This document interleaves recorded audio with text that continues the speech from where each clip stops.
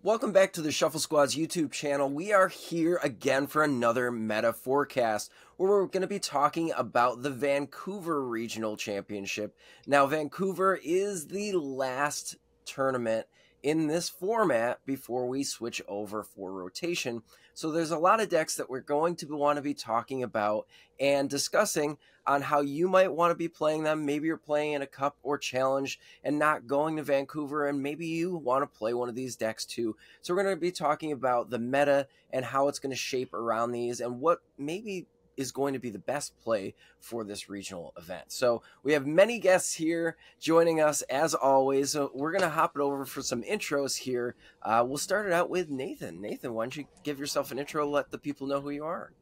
Hi, I'm Nathan Ginsburg. I'm a competitive player from San Diego. I got second at my first regionals and masters. Uh, day two a couple times after that. Couple top 64s, 128s. Nothing too impressive after the second, but uh, excited to talk about some decks for Vancouver. All right, very cool. And then we have Piper. Piper, why don't you let the people know who you are? Yeah, um, I'm a competitive TCG player, mostly in Minnesota. I guess now I'm in Toronto too. Um, I won two regionals last season, kind of washed this season, but uh, hopefully Vancouver will change that. Hey, listen, you won a couple of regionals in your time. Yeah. and uh, next, our life coach on the chat here, we have Mark. Mark, why don't you let the people know who you are? Uh, I've been washed for all time. Uh, I have a few accomplishments pre-pandemic. I have uh, five day twos and a top 16 at NAIC in the greatest format of all time, Zoroark, Buzzwole, and Malamar. And then post-pandemic, only one uh, day two, but really consistently keeping up, loving the game Pokemon, and also have coached quite a few juniors and seniors that have uh, won some internationals and regionals. So really involved with the game. Very cool. And last but not least, somebody that has no opinions on any Pokemon decks, Josh is with us here. Hi, yeah, I'm Josh. I'm a, a member of the Shuffle Squad. Um, I play in uh, the Chicagoland area. Yeah, no opinions, and I suck at the game. So even if I had opinions, they wouldn't matter. So that's true. That's no, no, no, Josh everybody here is great on the panel. So if you want to learn something about the Pokemon trading card game in this format, at least, you're definitely going to want to stick around for what we have to say here. So now I've already covered that Vancouver is the last regionals in this format in North America specifically. Uh, so it is a last ride for a lot of these decks that we're going to be seeing out here. So we're going to kind of go through and talk about what that means for these decks and how it's going to be impactful to this specific tournament. So the first one we want to talk about, let's get this off of our chest here. We're going to be talking about Mew VMAX. So we're going to hop it over to you, Nathan. I want you to give your insight on how Mew VMAX is positioned in this tournament. Uh, would you play it? How would you play it? Let's go from there. Uh, yeah. So I think Mew is like in a pretty decent spot right now. I mean, obviously there's like a lot of Roaring Moon and like some Charizard, but mm-hmm. uh, I still think it's like pretty good. Uh, Fusion Mew is probably in a really good spot, better than DT Mew in my opinion right now. Uh, I'm not a personal like fan of Fusion Mew. I like being able to go Judge Path rather than just blow something up with the Meloetta, but uh, Fusion Strike Mew probably pretty good. Uh, into Roaring Moon feels like much better than DT Mew. Uh, you also have like single prize attackers into like Chien-Pao mm-hmm. and uh, other like relevant two prize decks. As for it being its like last time like ever to be played at a tournament, like regional wise at least, uh, I think a lot of people are going to bring it, and you should probably be playing Spiritomb if uh, you're questioning because you know it's good against Mew, it's good against uh, like Roaring Moon and specific stuff. Um, obviously, there's like other cards you can play, but you know Spiritomb's this weekend that's that's that. Yeah, and definitely having the fusion package will help with the the Spiritomb counters if there are a lot out there. I mean, obviously that's not the best course of action. Um, if you're trying to beat Spiritomb and Path in the same deck, not not a great time for Mew, but Mew always does well regardless of the tournament.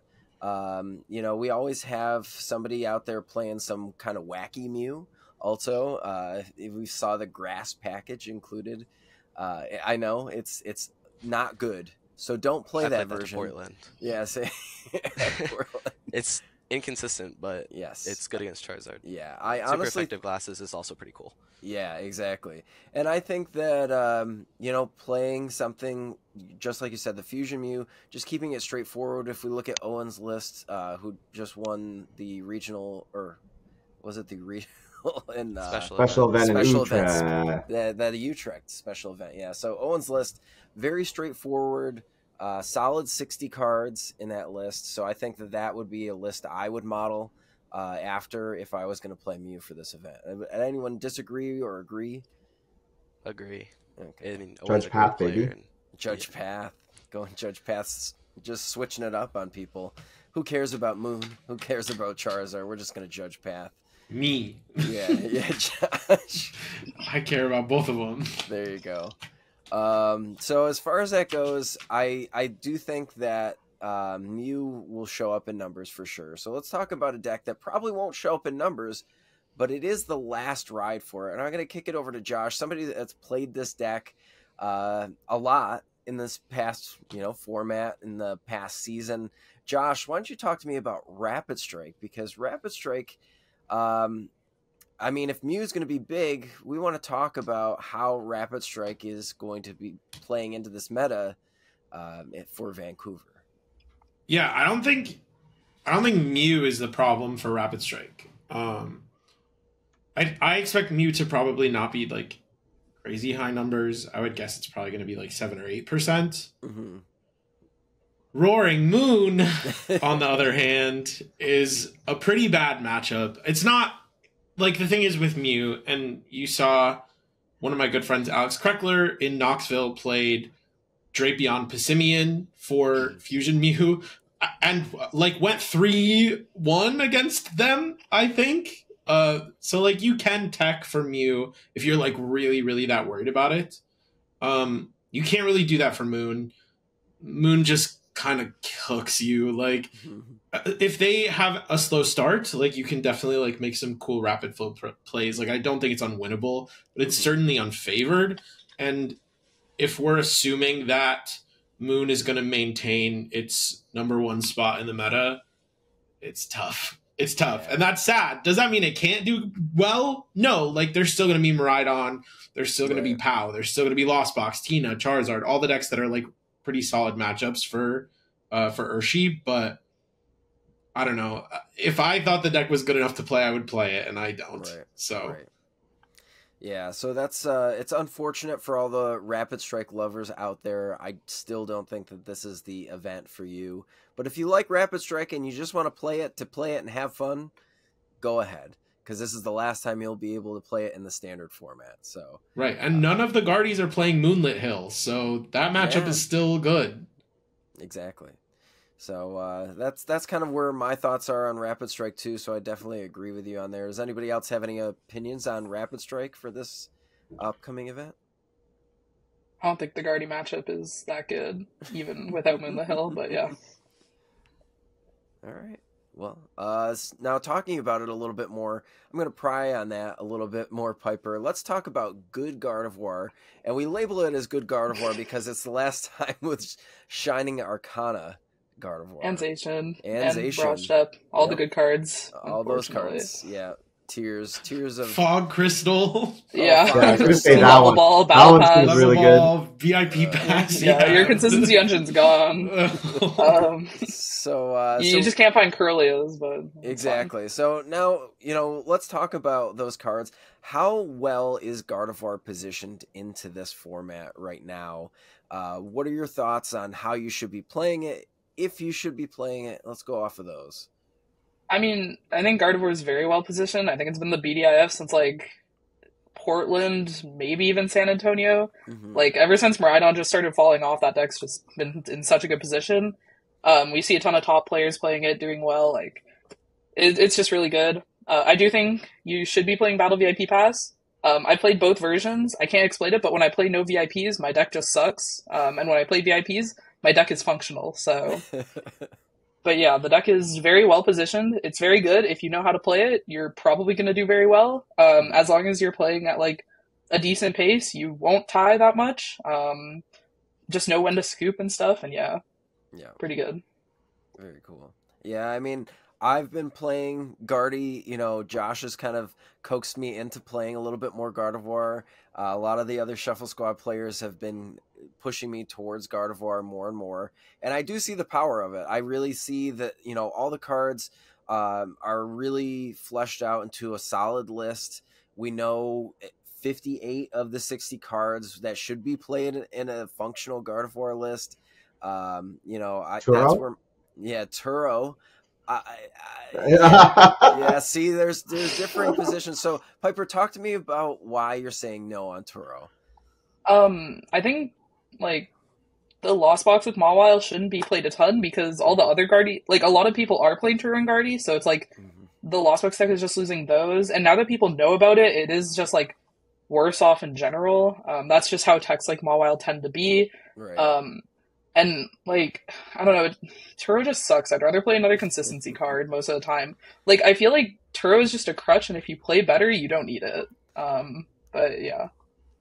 Okay, I mean, I can definitely see that. Um, if we're looking at the meta as a whole, Gardevoir into a blind meta a lot of the time just wants to be more consistent. So you are trying to put in maybe that, you know, second professor's research or an Avery or something else just to draw more cards, to see more things, to have more options. Um, so I can definitely see your your point on that. I think that Josh is shaking his head yes because I've also given him PTSD with playing enough Snorlax stall against him that you know. All I'm we, saying is that my shuffle squad check this month is going to be a little bit bigger because of those matches, PJ, that's true, and that's, that's thanks true. to Turo. Yeah, that is thanks to I Turo. Mean, we've done a lot of testing of the like Snorlax stuff. Uh, if it's regular Snorlax, as long as you don't start one of the little guys, it's like yeah. completely fine. Pidgeot's just bad even with Turo, but mm-hmm. if you're playing Turo Palpad, it's winnable. Like it's much better, but oh yeah, for the Pidgeot, but Pidgeot kind of distracts you either way. Yeah, that's true too. All right, well, we'll talk about the other deck that people don't realize is kind of the last ride deck. Um, but Iron Valiant, Entei Iron Valiant. Mark, let's talk about Iron Valiant a little bit. Uh, well, one, we're losing Rope after this format rotation, and we're also losing Medicham V for the Yoga Loop. So, uh, how have you liked Iron Valiant so far? What are your thoughts going into Vancouver with it? So, I played Iron Valiant at Knoxville and lost mm-hmm. a win into day 2 mm-hmm. and then I played it locally. And to me, the deck is a lot like a Ferrari. Mm. Entei is red. Ferraris are generally red, and yeah. Ferraris are fast, and the deck can go really fast. But sometimes your car just breaks down, and you can't move. so the games that you start with that deck, and I've won on my turn one many times with the deck, but I've mm-hmm. also lost just games because I start like a Spiritomb or yeah. I start just one Entei and there's no way to go in. Uh, it feels like we didn't have that deck for long, and that's why I think it feels weird that it's the last ride because it just came to us during LAIC and it went to that run of the final. Noah really put me on the deck before Knoxville because we sat beside each other in Charlotte and he was playing Rapid Strike against Stall and he's like, I don't know why I'm playing this deck. And I looked over at him, I'm like, Entei Valiant for Knoxville? And he's like, hey, maybe. So we talked about the deck. The Tina matchup with the deck, I thoroughly enjoyed. Uh, the Charizard matchup, thoroughly enjoyed. I went 4 1 against Charizard at mm-hmm. Knoxville. Everyone was playing Charizard at the event. Uh, the only reason I lost is because my Ferrari died ah. in the one match. Right? It just yep. didn't. It just didn't start. My key wouldn't turn. I think the Gardevoir matchup looks good on paper, mm. but Gardevoir can just beat you. They yes. can just beat you, right? They have Cresselia, right? They get their Jirachi down and it, you need to go aggressive, then they just come at you, right? And right. if Mew is going to be played, Mew's got a very good Entei Valiant matchup. Yep. And Canada loves Guardy. Yes. And there's going to be a huge Canadian population, and there's going to be a huge American population, and they're going to play Gardevoir, and you're going to sit there thinking, hey, I can beat this deck, but then you won't. No. I also think that the Tina matchup is like at best, it's very tight. A, a best of 40 60 because Path sucks when you play Iron Valiant. You, you play four Magma Basin. You, yeah. You'll find those outs. you'll find those outs. And Radiant Zard, Radi- the, the best thing about the deck is Radiant Zard. It also preyed on Miraidon a lot. Like if you Yeah. ever play against a Miraidon deck, uh, Yeah. the Moon matchups also like close depending on who takes the first two prize knockout. But I think there's just a lot better choices uh, to to play going into this format. And as much as I'd love to play the, the deck again for to see my opponent's face when they start low and 60 HP Pokemon and I went on my first turn, there's I, I'm gonna I'm gonna drive a Toyota Camry or a Honda Civic to Vancouver and play something that's just gonna do the job every time. That's right. Yep. We just gotta. Sometimes you just gotta get those points, right? So Iron Valiant uh, seems like a good deck. You're right, Mark. On paper, uh, feels fine, but if you want to be brave, you can definitely play that deck. Uh, and just make sure that you got your uh, igniter fluid just in case your engine doesn't start. And last piece of that, Iono is a very good card. I know Yes. that it's been popularized now to have the one one Bibarel, but I believe that he just knows his deck better than everyone. He knows his car better than everyone. He Yep. played Entei Valiant to every single tournament. Mhm. Uh, and uh, someone in Brazil top eighted with it at Guyana. But for me, I like the really straightforward Entei Valiant, like Noah sort of deck. And if you get Iono to two, you got to make sure you keep some amount of researches in your deck so that you can get out of it. Because if you don't, then then your very winnable game right at the finish line, that's when your car dies. So Yep. Exactly. It's kind of hard to though, right? Like keeping research in your deck as Entei Valiant. Like there's no real way to like maintain resources in the deck, which is Yeah. feels kind of tough. yeah, Palpad would feel fine if there was space for it, but I feel like there's it's so tight. Like the the deck is is so tight. You can't fit a Palpad. If you can, if you can find a space for it, go right ahead. But I feel like that's kind of where where it lies. But so those are are the last ride decks. Uh, we've got those out of the way. Now we're gonna kind of flip the switch here a little bit. We're gonna go back to you, Nathan. Uh, we're gonna talk about uh, the three uh, average Joe decks, as as Mark likes to call them. Um, we're gonna talk about Miraidon, Charizard, or Roaring Moon. Uh, I'm gonna have you choose your fighter out of the three here and tell us why. Um, this one's actually pretty easy for me. It's definitely Miraidon in my opinion. Okay. Um, Moon, I've always thought is mid. Like I still don't understand how that's the most played deck in the format. That might that might be that the like the two decks that I play are Lost Box and Gardevoir, but Yeah. like those are both two, like two bad matchups for Moon. But yes. I do not like Roaring Moon like at all. Um, Yeah. So that's why it's not Moon. And the Charizard doesn't do great into Gardevoir, and I think Gardevoir is going to be very popular. Yes, Miraidon is Miraidon's the choice. Um, Okay. Charizard's like it it doesn't do great into Gardevoir, and like it does like kind of okay into Tina.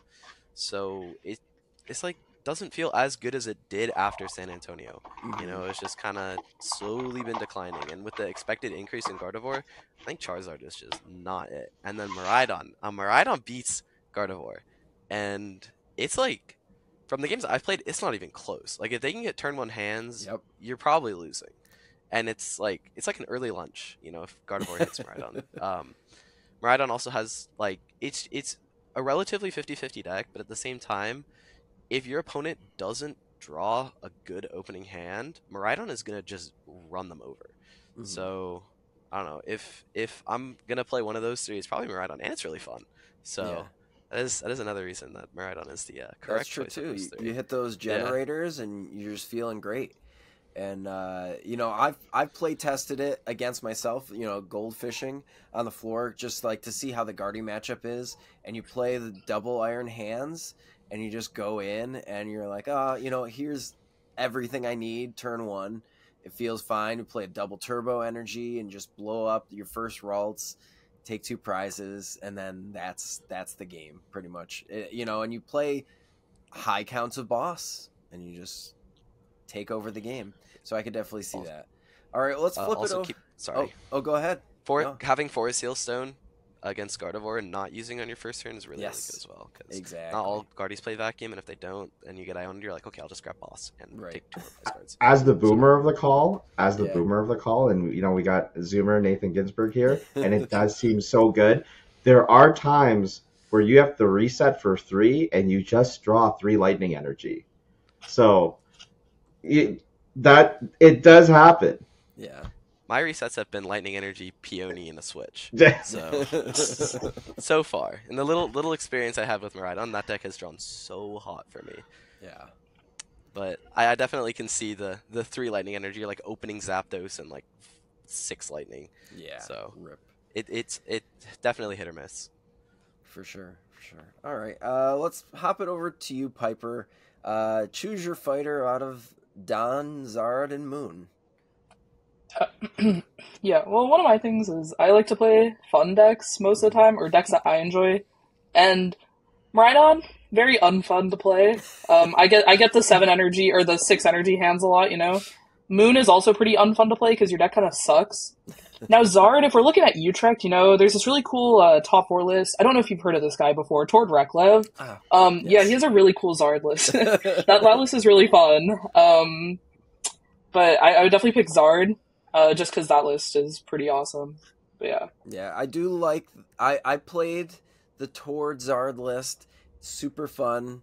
Then I played it to an online tournament, super inconsistent afterwards. Yeah. So I don't want to run into that. I do have some uh, cheeky text that I want to add into that that I'll talk to Mhm. everybody about after after the this meta forecast. We can't give out the leaks just yet, but the, the Tord box looks really cool. Uh, on paper, I think that it's very funny. Um, but it's very fun. yeah, so I, I guess I could see that for sure. Um, let's hop over to you, Mark. Who are you choosing out of the three for your deck if you had to choose? so if I was going to tell someone if they wanted to try to win the tournament, like I would tell them to play Miraidon because if Yeah. you just get the right matchups going to this tournament, you can win the tournament. I am a boomer. I did talk about playing with a Toyota or Honda Civic, so I'm going to choose my boy Lizardon as we throw lappers to the floor there. And what I want to say is I was really against this deck. When this was like the best deck everyone's playing, I'm like, everyone's playing it. The deck's anyone can play this deck, anyone can win, but that's what actually makes the deck good is because the cards are just so powerful in it and they're still innovating. So in Utrecht, we saw, you know, double Charmeleon in one of the decks. We saw Bibarel come in the deck. In Guyana, they played V-Guard energy. And I know a lot of people are like, oh, what's this V-Guard energy for? Like what what's the point? But it actually kind of swings your Tina matchup because they can't just boss your Pidgeot in the game plan everyone's taught to 280 a Pidgeot. And if they use their V-Star attack on your Pidgeot, you're laughing because then your Charizard's just going to take four prizes after, right? Because they won't Right. be able to. So this, I'm gonna, I'm this is what I'm playing with Vancouver. I'm gonna lose. I'm gonna take those games. Everyone in Knoxville, I said, hey, you're gonna dead draw with Charizard at least once per match, and I'm just gonna hope that the games that I don't dead draw, I win. That's right. That's interesting. I like that. The V guard is nice into guardy too. Like your Oh, late yeah. game Zard, you can stop them from. I mean, Zacian needs what ten? They need ten. energy? They need the full. They need the full ten. So if they they don't have, but you know, Josh, you're gonna draw it. I lost to that today. I put a I put a V guard. They had nine energy. They refinement twice, and then they're like they're like this, Sorry, and then they played yeah. research, and then they were like, oh, I have the energy in my hand. So Yeah, in theory, But it's nice on also- paper. You can also kind of play around it by just like not evolving into a two prize or forcing you to go down to one prize and then just killing Right. with baby guardy. But it is cute. Like it is it is cute. Like if they're not for expecting people it, that haven't played do Guardy nonstop, like you probably you have a chance. But for for top players, like that, we'll figure it out. So you just gotta hope that when they're drawing off the refinements, they miss their Arcanas and they miss their reversal energies, and you, you live with that. Yeah. Right, right. All right, let's hop it over to you, Josh. Which which of the three are you choosing and why? Right. So uh, I actually am also going to pick Charizard, but I'm going to Okay. kind of work backwards. I agree uh, with everyone else that Roaring Moon sucks. Like that deck is just like not very good.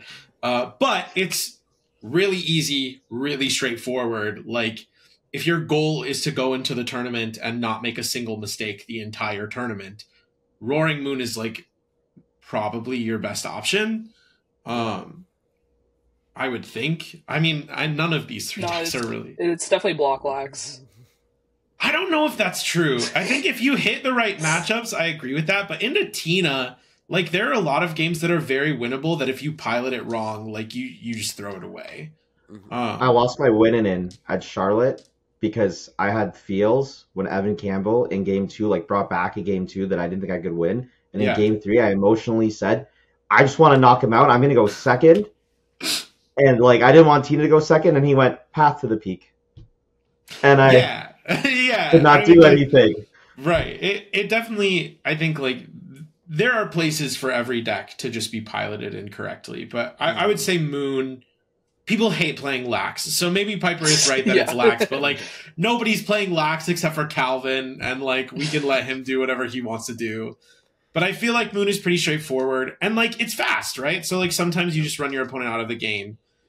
I actually think Miraidon is the biggest bait for this tournament. I have heard everybody talk about how Guardy's gonna Guardy's gonna blow up and play. Guardy's gonna blow up and play, bro. It's it's the second coming of Guardy. Guardy's coming back, and every single tournament it's nine percent. Every tournament, people are like, "Bro, Guardy's spiking! It's spiking!" And then it's nine percent every time. Like, so you can play Miraidon, but if you're playing Miraidon, you have to understand that you are taking a slightly unfavorable matchup to the highest played deck in Roaring Moon because it's much easier for them to one shot you than it is for you to one shot them. especially if they and you are taking- second. Right. And you are taking a bad matchup to Charizard. Like, bad. If a Charizard player knows what they're doing, they should never lose that matchup. Radzard is crazy into Miraidon. Yeah. Like back back in the day, back when pre Azul literally breaking Charizard for every tournament, that matchup was fine. But now, like Mhm. Radzard being back in lists is just so oh hard yeah. for Miraidon to deal with. So like if you're assuming that those two decks have the percentages that they've been having, that's like a third of the field. That is just Yes. like a rough matchup for you, plus whatever other matchups are not great. You do take a sick Tina matchup. I think that's really cool. And if you hit a bunch of Tina, you hit a bunch of Guardy, you hit a bunch of Lost Box that's not playing Mawile, like I don't know. I don't know because Kyogre still kind of claps you. To be honest, Oh like yeah. Yeah. They like take two Miraidon prizes is a and sit back. right, Guys, Miraidon Nathan beats has a, a Manaphy in his deck. Okay, Nathan's got a Yeah. Manaphy in his deck for that matchup. right, right. Yeah, I'm. He's- I'm he's ready. I've Bro. Kyogre too many mul- I've Kyogre too many Miraidons to not Yeah. put a Manaphy in my Miraidon deck. right, right, right. That is yeah. Right. Yeah, great. Yeah. so I think Miraidon beats the two best decks in format. The issue is we're in a format where the two best decks are Tina and Guardy, which are like relatively high skill decks, and so they don't have the play rates that something like a Charizard is going to have. So I think Miraidon is massively bait. I think Charizard is a deck that if you play it well the whole tournament, other decks are way better at cooking themselves than than Mhm. uh, Charizard is. So if you just like set up your board and let your opponent play badly, like you can win any game. So I would say Charizard. Cool. Well, uh, we're gonna move on to a highlight spot here in the meta forecast. I want to talk about this deck, and I want to see if you think that it's a little bit too soon. But I think that the deck's been doing well in a lot of tournaments. That maybe we should start talking about it a bit more before it gets really, really good in the next format. Uh, we're gonna talk about Chien-Pao. So. Nathan, I want you to give me your insights first on Chien-Pao. How do you think it is right now in the meta? Uh, is it something we should be considering going into this tournament? Right now, I'm gonna say it's not bad, but I like I cannot play Chien-Pao. Like I've tried the deck. My opening hands are like Bidoof, um, pass. Like I I cannot play that deck. But I do think it's good. If if you're like Jared Grimes or like anyone else that like only plays Chien-Pao and like your hands are like fine, I think the deck is like pretty good. It's good into like Gardevoir depending on Mhm. obviously if you go first or not but um the deck is like it's it's solid like it obviously gets like so much better post rotation like combining counter catcher into one or sorry uh cross switchers into one card Yeah. and then giving us Malo back in Ciphermaniac is like is that is ridiculous. With, you have three ways to draw it with Pokestop, Greninja, or Bibarel, but right now it's good, but I I can't. I, I can't play that deck. but it's it's good though. It's good. all right, all right. So, Piper, thoughts on Chien-Pao? Yeah, I mean, the deck is good if you draw well. Um, I think it's kind of similar to Miraidon, where like you do well when you high roll, except its matchups are like less polarized than Miraidon. Like mm-hmm. your Guardian and Tina feel like less good. Um, your Zard is, your Zard and Moon are better than Miraidon, but still like Zard is pretty close. Um, yeah. your Moon matchup is favored, I think, but very slightly. Um, I don't know. It it's still very. It's probably a bit more high rolly than Miraidon though. But you do have like a slightly better matchup spread, so it kind of just depends what you're um, prioritizing. Okay. Um, Mark, what are your thoughts on Chien-Pao right now? I have two sentences on the subject. Yes. One, Gamerman won a regional with Chien-Pao. Then he stopped playing it. That's it. That's all you need to know. Um, you know, we've we've been seeing uh, a little bit of hype, obviously, with the the double Iron Hands build. Um, it, I don't know if I like that at all, um, or or what, but I don't think Owen has put his stamp of approval on obviously switching over to Mew uh, either. But that's kind of uh, where my thought process was at too on there. He said he switched to Mew too because he did not want to play the mirror, ah. and he felt more people were picking it up. But in in all essence, the deck has been around since the start of the format. Since Pittsburgh, we've been playing against this deck, and every yeah. time we're told that this this oh since NAIC last year, this deck was around, right? That's why we, yeah. that's Jared Jared Grimes, uh, Owen Rhodes. They came with this deck. It it looks good. You test against it, and you just go I can't let anyone that I coach or that's in my play group play this deck. Yes. well, we're going to move it over to you, Josh, because I know you got some insight here. Friends with Jared Grimes, you know how Chien-Pao, you know, I've talked to Jared a little bit about Chien-Pao too. And, uh, you know, Owen Rhodes beat the crap out of me at NAIC last season with it. Owen Rhodes. that's the first first matchup I didn't want to see playing Arctura. Uh, and know, day two, that's how I started. But Josh, talk to me about Chen Pao uh, right now in the format. It's fine. I don't know. Yeah. Chien-Pao's fine. Like, yeah, you... it's a deck that's fixed a lot by best of three because, yeah, you have a lot of games where you just like brick. You've passed, right? But like yep. the deck, the deck is like inherently really strong. Uh, I would never play it. Like, if you consider yourself a lucky person, go for it. But and I mean like the issue with Chien-Pao, I think there's this like misconception that the deck is like super lottery focused. The thing is, it's inconsistent and like concentration intensive where like mm-hmm. you can lose games by not playing games and you can lose games by getting like by making a sequencing mistake and like getting rid of all of your Baxcaliburs, right? Like right. to me, like if I was going to play a deck like Chien-Pao, I just wouldn't play Chien-Pao and play something else. Post rotation, completely different. I think post roto oh. very strong. Prime catcher's insane. Buddy Poffin, Buddy Poffin fixes every issue with the deck. Because right now you have to choose first, and if you miss turn one VIP pass, you're cooked. But now you can Buddy Poffin turn two, which is just insane. Uh, but yeah, I don't know. CPOW seems fine. Like if you like CPOW, you think you're good at CPOW, play it. If not, like yeah. play anything else. All right, perfect. So let's uh let's focus on another deck I do think is actually really well positioned for Vancouver. We're going to talk about Giratina. Uh, we'll go back to you, Nathan. Um, I've been playing a lot of Tina lately uh, to get ready for Vancouver. What are your thoughts on Giratina right now? You like comfy um, decks? I do. I do not like comfy decks with a three-three line of inconsistent Pokemon. Though. Ah, okay. Um, I think I think Tina's good. Um, just when I'm flower selecting, I prefer to have like other cards. You know, uh, I think Tina's good though. Um, it has like a good matchup spread. Like I could never do t- like one shot a Charizard with yeah. uh, like Dragonite and stuff, but you know Tina can. Mm-hmm. Um, it also has Roxanne and Path. You know that's like, yep. That's just that's just Judge Path, but even better. You know. right. Um, Tina Tina Tina is really good though. It has uh, like a good matchup spread. It's one of those decks that like you never just lose when your opponent flips over something, right?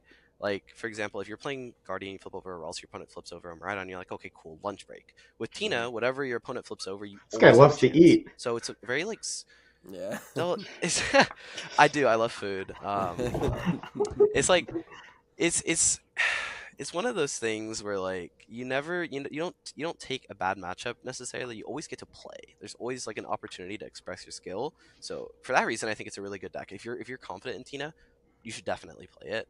Uh, Mhm. I wouldn't switch this late, but uh, I do think Tina is good. So Absolutely. yes, Okay. I agree. Cool. Um, Piper, from the person that wants to go first with Gardevoir, uh, when I have Cramorant in my deck and can pretty consistently get it out, what are your thoughts on Giratina into this format? I mean, it's like fine. I don't think your Guardy matchup is good, Okay. but I mean, people think that's not true for some reason. I don't think they've played against the best Guardies, but I don't know. Um, Tina's good. Mhm. Like, there's not much else to say. One of the issues, like, while you are in every game, that's also not great because then it's a lot harder to tell when to scoop, which it's also a very slow deck, which leads to a lot of time issues.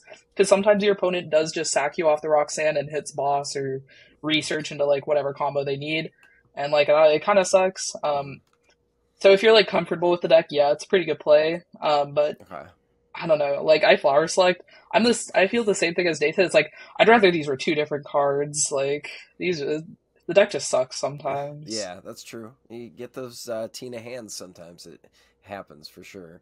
Um, I've seen some other techs come into Tina to make some of its alternative matchups better. We've seen things like Avery come in to help with the Guardy matchup. I've seen Spiritomb come in to help with not only the Mew matchup, which I think is still pretty fine, um, but also to help in the Moon matchup. So Galarian Moltres V uh, is stopped. So, Mark, what do you think about some of these techs being added into Giratina? Is it going to help it win the next regional? So I'm a I'm a Christian and I celebrate Lent. Yeah. And for Lent, you usually give up. You make a Lenten promise to give something up, and I gave up playing Lost Box decks for Lent for, for, for a period of forty days at CP level events okay. to okay. stop myself from playing Tina because I actually played it a lot before. It was the only way I could do it. I made I made my promise to God that I, I wouldn't Yes, do it. yes, yeah. But I've been coaching some Tina lately, and the deck is so good.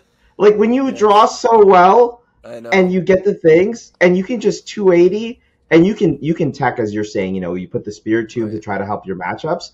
But when you get those games where you you you, you draw everything and you can just stream 280 and star requiem and then a sableye and a cram that's six prizes. Yeah. right? Like the map the math adds up. Path roxanne like these are i'm you know it sounds like i'm just saying cards but in these combinations these cards are very powerful. And you know coach mark here we can't argue with numbers all the time and john Engswin in a Yeah. in a mirror match right? And grant hayes lost to azul in that final. And and vinny's win at the biggest regional at the time it was in in our turf in north america the, the deck is just if you can overcome the sum of your parts and you know the deck inside out nathan's absolutely right. You always get to play. Even if it's just abyss seeking sure Yeah. there are times you you scratch with sableye Yep. sometimes you just scratch with sableye and and hope that it comes those are the worst games but but i i wish that you know maybe i i gave up like potato chips or something because like part of me kind of wants to play it for for for vancouver yep. Yeah, I, I could totally see that. josh is like we're gonna be friends after this call. That's the thing is I, I played Tina for the the first half of the season. I loved Tina. I even played emo Tina a little bit. We put the uh, Roaring Moon in there. Uh, loved it. It was it's funny, uh, but not not funny enough. And then I had the You get a Star Queen twice. You get That's a Star right. Queen That's- twice with a Tina that's in your. How do you how do you lose? Yeah, And then you on your flight home from San Antonio going, why did I do that to myself? but here we are. All right, Josh, talk to me. Tell tell me why I'm wrong about Tina winning this regional. Uh, tell me what your thoughts are about Giratina overall, and for Vancouver. I agree with Piper. I think Okay. I think if Tina and Guardy are going head to head, the matchup swings viciously based on the skill level of each side. Okay. Uh, if both players are playing optimally, I think Guardy is favored. If both players are average, I think Tina. I think Tina is very good, right? Like like Tina is a deck that is really good at uh oh. Oh can you hear me?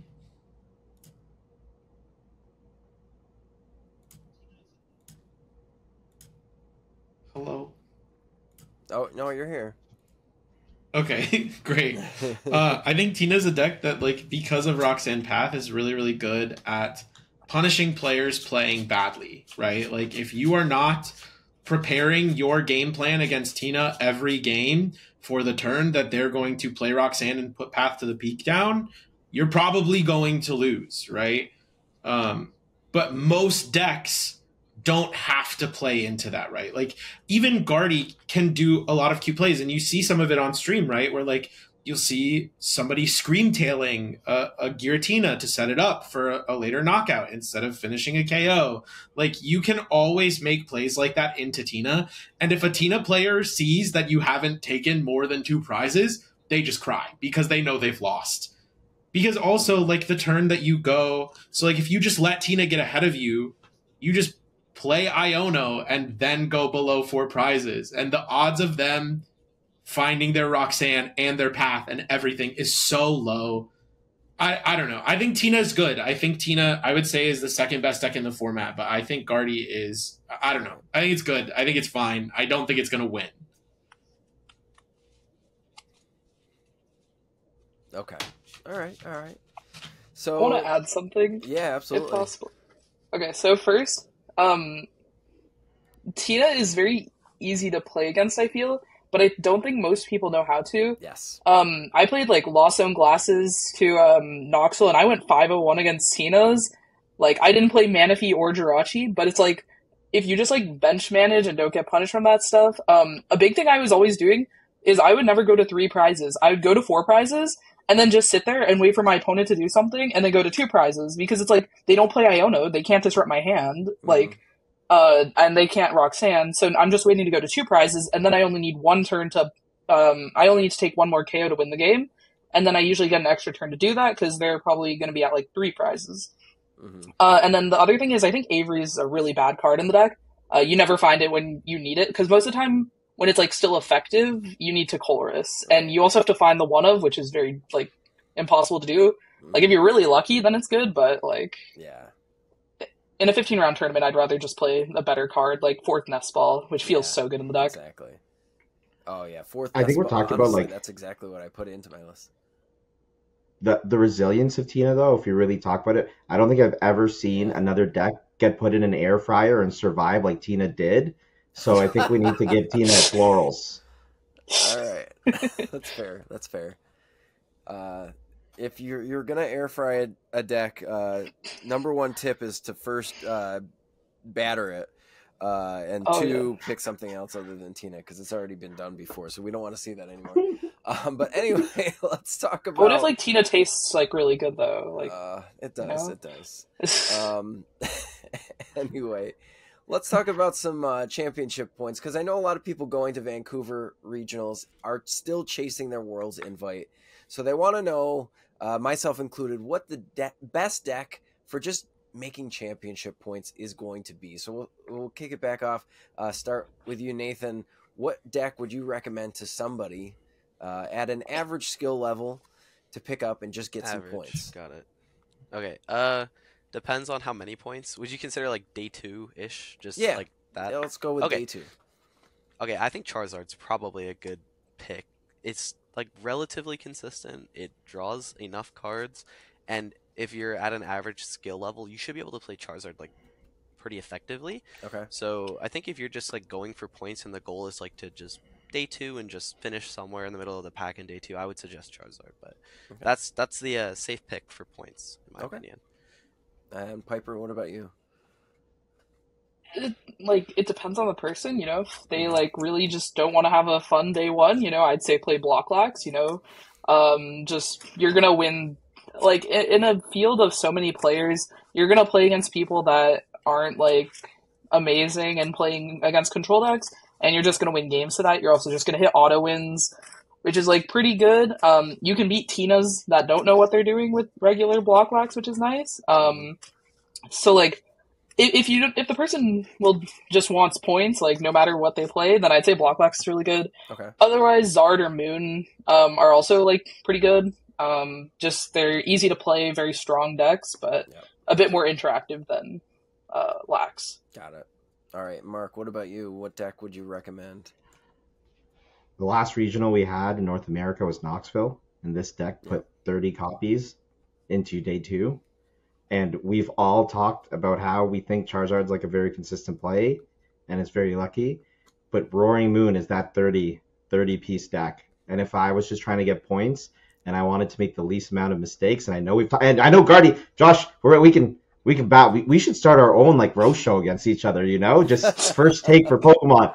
But if if you if you lose to Guardies early enough in the tournament with Roaring Moon, because you can afford to, to take some losses, and all the good Guardy players are winning, then you'll dodge them in the rest of the field, and and just and just hit double dark patch. That's right. You know, Morpeko is a good attacker. It seems seems fun. No, But, it's not no, very good, see- actually. like I feel like with Guardy, you only lose to just hard bricking or like starting Zation and drawing like crap and like drawing mediocre. Yeah. Like you can win that from three prizes down if like yeah. you can win it from two prizes down if your opponent resource manages poorly. I won. I won top yeah. four of a cup, down two prizes to six by going counter catcher Greninja Iono and scream tailing for six prizes. Yeah, I mean that's that's another thing. But we're we're talking about. I want to be part of your cups. I want to go to your they won't be cups. Yeah. Playing into that. Yeah, same. This Come is, to this is Roaring Chicago. Moon without water or lightning, right? Yeah, yeah, no, it's it's just- just, just straight darkness. Just Yeah. mono dark. Gotcha. The water, the waters makes that matchup a little more interesting, especially Yeah. for the Cologne. I mean, I always bench Manaphy. I have the bench space. I'm not Fair taking the risk of just losing Moon. Right. I definitely, definitely grab Manaphy as well. That's why she's a regional You should champion times two. anyways, because especially if you have if you Oh have yeah, Greninja if you bench Greninja, yeah. you have to put Manaphy down because they can put three energy on Mew and boss it. Uh, so you should Yeah. put Manaphy down anyway because you want Greninja in that matchup most times because you have to play aggressively. Well, Mhm. have to maybe is a strong word, but Yeah, it's more so that like you need the two guard. You you can't like reversal KO stuff, so um, you need to have Guardy and Guardy X, which like lowers your number of refinements. Right. Especially because they're taking prizes aggressively. Like if they KO a refinement, then you're down a refinement, and you have Mirage Step in place, so it's like less draw overall. So Greninja gets you the extra draw and energies and discard to uh, pull off the plays you need to. Right. Yeah, But I yeah, I sure, agree. I, I do. I agree. Also, um, Mark, I think that that's a, a really good choice for somebody that maybe new to the game, just playing their first regionals, or or wants to like day two for the first time, playing a playing a Roaring Moon. Uh, Josh, what would you say is the the most recommended deck in your opinion for points or day Yeah. twoing? Not to sound you know like a copycat, but I agree that it's Roaring Moon and Charizard. Um, I'm down Okay. for the roasting thing, but I do agree with you. I think We need to start Moon our own show. We need to start but our I own also show. think uh, I think I'm in. I'm down, bro. Yeah, I think I think like Roaring Moon is mediocre, but like the the average day one experience is not you playing against really good players. It's you playing against average players, and like Moon is consistent and auto KOs anything. So like I think if your goal is to make day two, you should play Moon. If your goal is to win the tournament, you should burn Moon. Put them away. Uh, but yeah, I would say Zard, Zard or Moon. I think Zard again. Zard is very strong, very consistent. Being able to search your deck for any card you want is really good. So Yep. All right. Cool. So we're hot take. gonna hot hot take. Uh, we're gonna round things out. Uh, so the top three played decks prediction part of our uh, meta forecast. We'll put it back to you, Nathan. Uh, what are the most played decks? So the top three for you. Uh, what are your predictions? Uh, number one's probably gonna be Moon because people insist that that deck is like anything real, but that's probably gonna be number one. Number two is probably gonna be Tina because everyone's been playing Tina, and then the third one is probably Charizard. Like Okay. it feels bad leaving off like the other decks, but Guardy's probably gonna like come in fourth or maybe even fifth, and then Mew and Miraidon are gonna be a little lower. So Yeah. I think those are the big three contenders. Okay. Uh, Piper, your thoughts? Okay, I think it's going to be Moon first, Zard second, and then I think it is the last event. There's going to be a lot of Mew copers out there. I'm feeling number three is going to be Mew. I I can see Like, gotta play it one more time, you know? Yep. Hit it, hitting the turn one Meloetta feels too good. Yeah. So you're telling me play a, a grass or a dark type deck? That's what. I mean, Excelgor is grass. That's true. Let's go. All right, Mark. What are your top three predictions? I'm gonna go with Roaring Moon, Giratina V Star, Yep. And Charizard. They Okay. started us off, and they'll send us. Oh, Roaring Moon. Roaring Moon actually flat Yeah. was not did not start us off because we all said that deck was bad, and then it came back with a vengeance when you know NASA piloted the deck to make everyone want to jump in a spaceship and take KO their opponents on turn turn one. But Yep. yeah, those will be the three decks. Okay. And Josh, your three predictions? Um, I'm gonna say the most original thought ever and say that Roaring Moon will be number one. Uh, Okay. I do think Charizard will be number two. Uh, okay. and then I would say Tina number three. Um, Got it. yeah, I think I think there will be some Fair. Mew Copers, but not that many.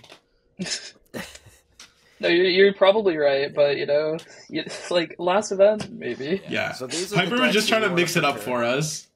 Yeah, Yeah. honestly, I knew we were all gonna say Tina Moon and Hey. Zard. Like, We know. what's Gabe coming. Smart lost with Moon to Mew at the Game Grid tournament on Friday, you know, so anything can happen. That's right.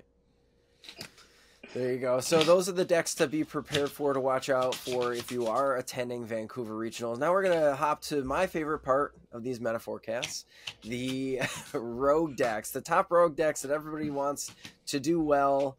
Um, I'm gonna start out here because it is my segment, my show here, uh, and say that my top favorite rogue deck right now is going to be the Pidgeot control deck. I think that I would love to see that do well in this tournament. Um, maybe not the one with Radiant Charizard, maybe the one with Radiant Charizard. I just want to see that control style list do well. Is that Uh, a Nathan. rogue deck? It just won a, a regional. I'm, yeah, but that deck what- is it's really like good. consistently cutting too. Yeah. Like, yeah, it's uh, it's rogue-ish right now. It's it's becoming more meta, but it it's also played in low numbers in these tournaments too. that's fair. Um, Alright. So yeah. So Nathan, how about you? What rogue deck would you like to see do well?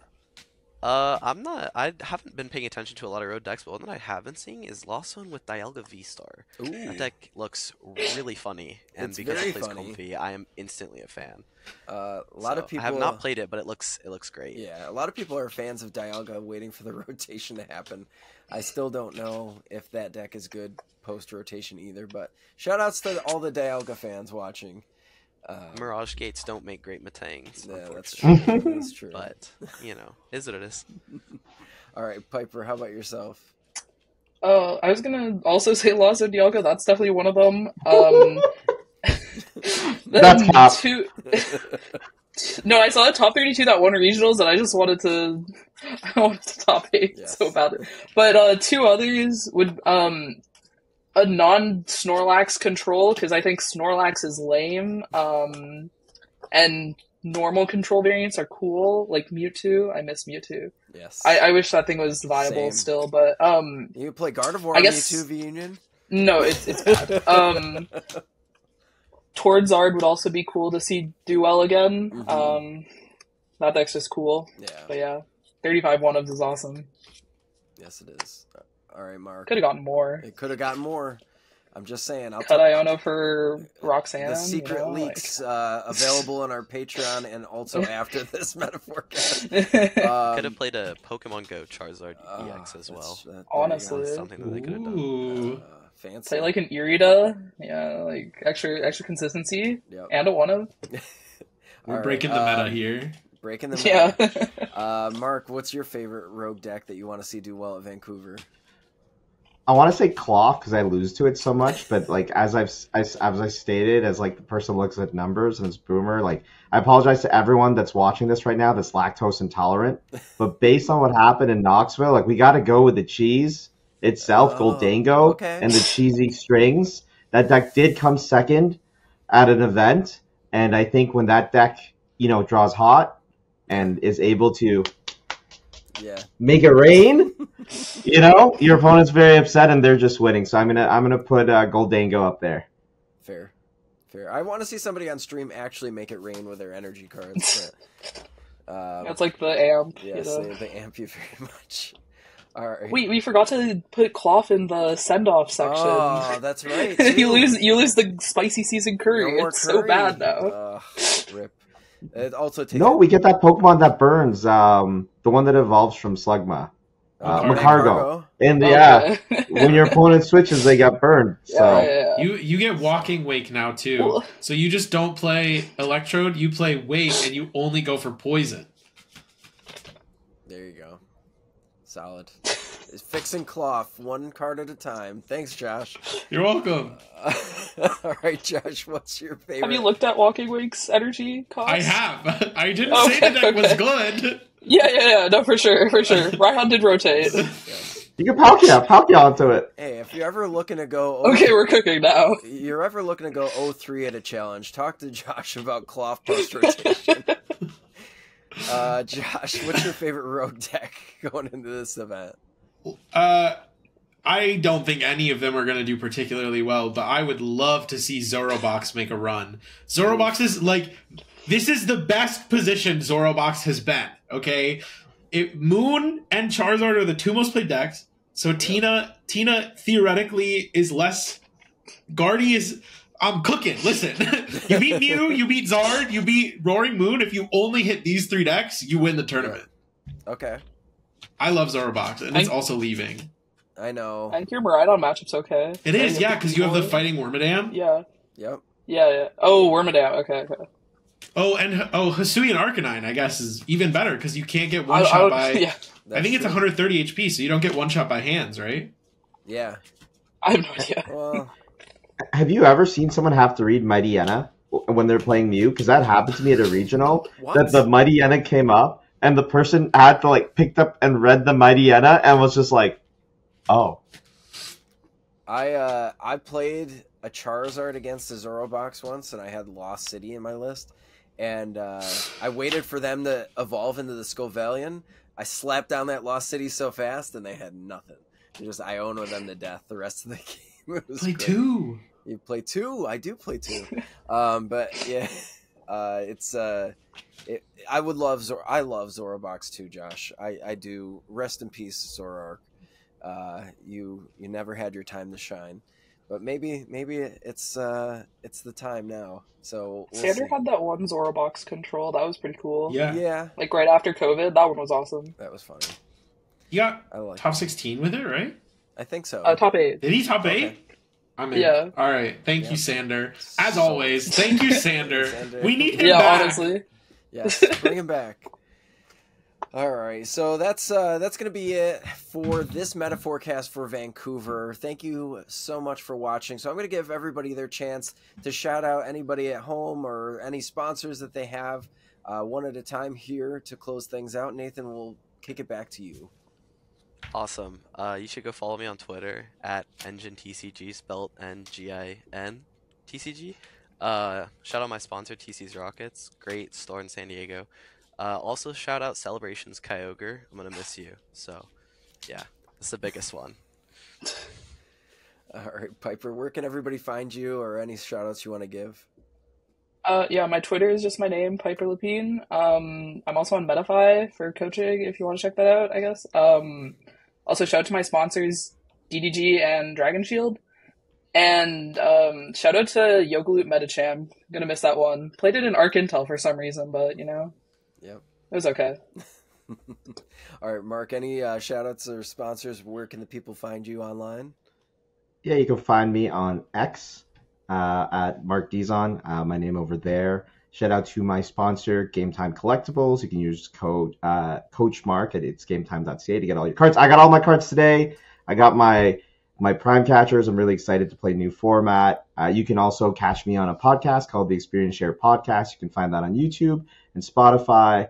And I'd like to shout out uh, my fiance and my dog for letting me be on this podcast because they wanted to spend time with me tonight. So, Ice Rider Calyrex, shout out to that too. I'm going to miss that one. All right, Josh, any shout outs or. Uh, yeah. Thanks?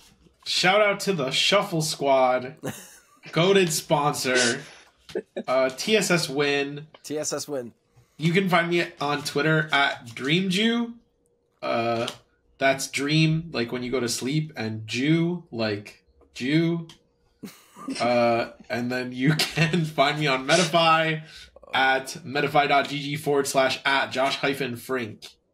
Uh, and then yeah, a shout out, shout out Rapid Strike Urshifu.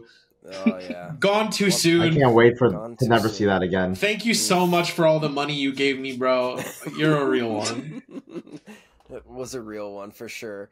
Uh, and one last time, I'm PJ here with the Shuffle Squad. If you do want to get any cards for the upcoming formats too, I know we've been kind of teasing that. You could definitely check out the sponsors of the Shuffle Squad down below in the description of the video here. Uh, shout out to our sponsor, Kayfabe Collectibles, where you can actually pre-order a lot of those cards for Temporal Forces or the current format now to get everything that you need for EUIC or any of the uh, next upcoming formats and just pick them up at Vancouver Regionals. Uh, so you're going to want to do that too. Uh, shout out to my wife and kids who I'm not going to see for a whole bunch of weeks here because I'll be traveling all around the world um, and doing all kinds of cool Pokemon things. And uh, shout out to Candace for uh, Jarek and Jem. And we'll catch you next time here on the Shuffle Squad. Want to support the Shuffle Squad? Be sure to check out all of our sponsors in the description to pick up Pokemon TCG singles, sealed, and PTCG live codes.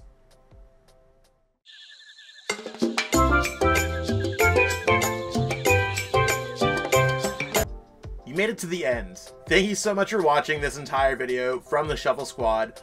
Honestly, from the bottom of our hearts, we appreciate each and every person that supports our content, watches what we have going on every single day, every single week, even from time to time, and uh, continuously allows us to have a forum to project our creative content towards the Pokemon TCG community. So if you haven't already, be sure to give this video a like, subscribe to the channel, and even leave a comment to help boost the YouTube algorithm. That being said, we'll catch you with our next video. Thanks again. Take it easy.